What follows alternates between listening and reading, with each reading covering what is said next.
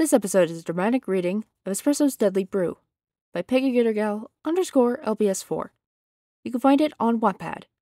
Link below. And joining me in this very special episode is my best friend. Hey, I'm Jenny O'Hara from Jen's Poke Talk and Jen's Pokemon AMVs, both of which will be linked below and in the pinned comment.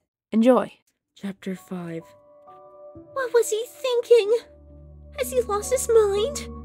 Alchemist asked herself in a panic. She had never expected Espresso to dabble in a bit of decaf magic. Forbidden coffee magic. She said.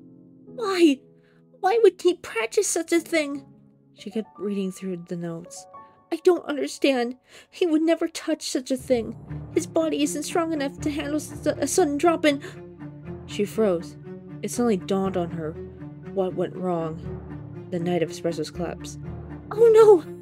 I must warn the doctors! Alchemist grabbed the phone, but suddenly she felt another hand.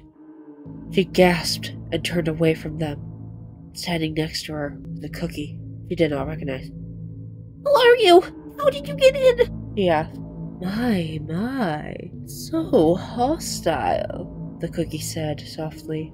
I am nothing more than a mere colleague of Espresso's. He told me to make sure no one was in his lab without his permission. Are you sure? Asked, not believing this stranger. How do I know I can trust you?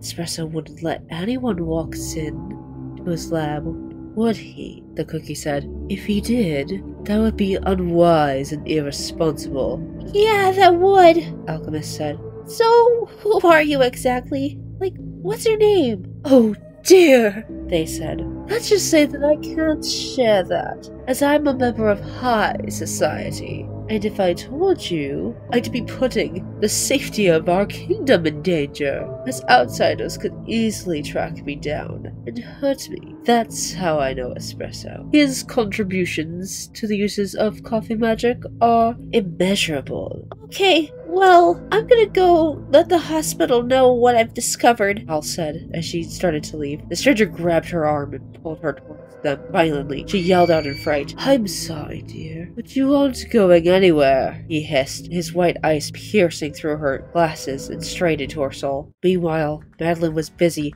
fencing with Raspberry to keep his mind off things. Music was playing in the background as the two clashed swords, whilst Knight, Tea Knight, and Red Velvet watched.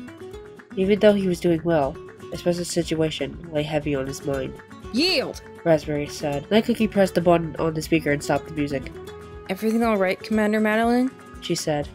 It's espresso! Madeline said. of course it is, Red Velvet said, unsurprised.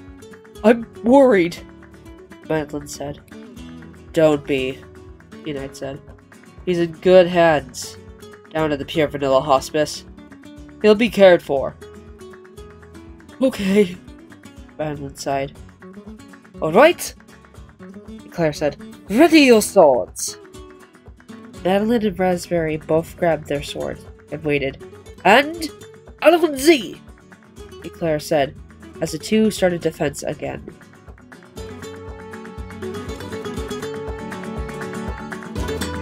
プカチュウ